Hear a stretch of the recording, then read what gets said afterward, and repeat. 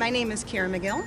I'm 48 years old from Los Angeles, California, and I own Bagel, aka Sunglass Cat.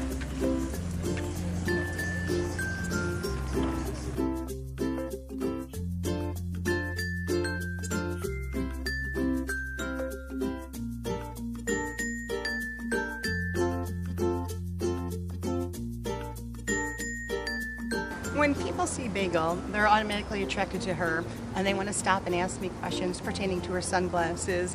A lot of them will always laugh and they'll ask me um, why she's wearing them or they'll laugh and just say, oh my gosh, look, at that's a cat wearing sunglasses.